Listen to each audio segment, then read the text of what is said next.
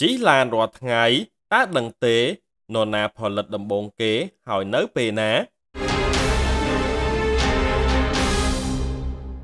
រថយន្តគឺជាយានជំនិះដែលមានកង់និងម៉ាស៊ីនដែលត្រូវបានគេដឹងថាកសាងនិងច្នៃប្រឌិតចេញដំបូងឡើយដោយជនជាតិបារាំងម្នាក់លោក Nicolas Joseph Gounod អ្នកច្នៃប្រឌិតជនជាតិបារាំងបានបង្កើតយានជំនិះ ដើរដោយធម្មពលចំហាយទឹកដំបូងគេនៅក្នុងឆ្នាំ1769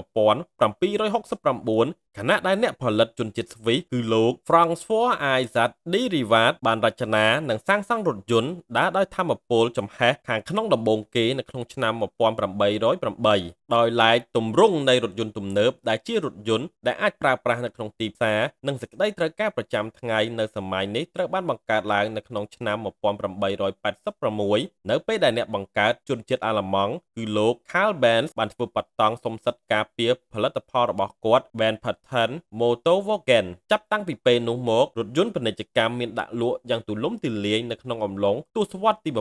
ថយន្តដំបូងគេដែលមហាជនទិញគឺរថយន្ត Ford Model T ដែលបានចាប់ផ្ដើមផលិតនៅក្នុងឆ្នាំ1908ដែលជារថយន្តរបស់អាមេរិកផលិតដោយក្រុមហ៊ុន Ford Motor Company រថយន្តត្រូវបានអនុម័តយ៉ាងឆាប់រហ័សនៅសហរដ្ឋអាមេរិកជាទីកន្លែងដែលពួកគេបានប្រើប្រាស់ជំនួសរទេះសេះនៅទ្វីបអឺរ៉ុបនិងផ្នែកផ្សេងទៀតនៃពិភពលោកតម្រូវការរថយន្តមិនមានការកើនឡើងរហូតដល់ក្រោយសង្គ្រាមលោកលើកទី2រថយន្តត្រូវបានចាត់ទុកជាផ្នែកមួយដ៏សំខាន់នៃសេដ្ឋកិច្ចអភិវឌ្ឍរថយន្តដំបូងគឺវាសាមញ្ញដែលអាចបំពាក់ត្រឹមឧបករណ៍និងម៉ាស៊ីនសម្រាប់ទៅមុខនិងថយក្រោយរួមទាំងឧបករណ៍ជំនួយសម្រាប់ការចូលចតនិងចង្គៀងបំភ្លឺផ្លូវ ជាច្រើនទសវត្សរ៍មកហើយមុខងារនិងប្រព័ន្ធគ្រប់គ្រងផ្សេងទៀតត្រូវបានវិស្វករជំនាញសិក្សា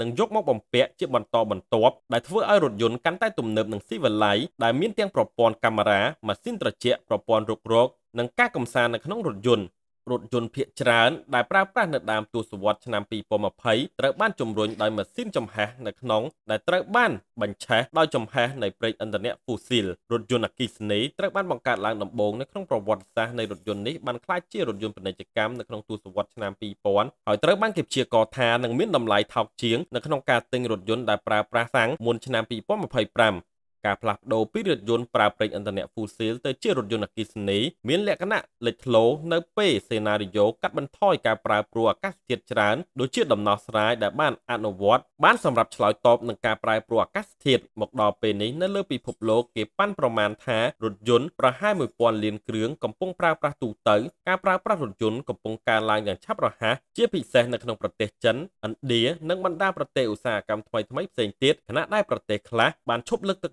ចិត្តឲ្យប្រើប្រាស់រថយន្តផ្ទាល់ខ្លួនទៀតដោយសារតែការកកស្ទះការបំពុលបរិស្ថាននិងចំណាយខ្ពស់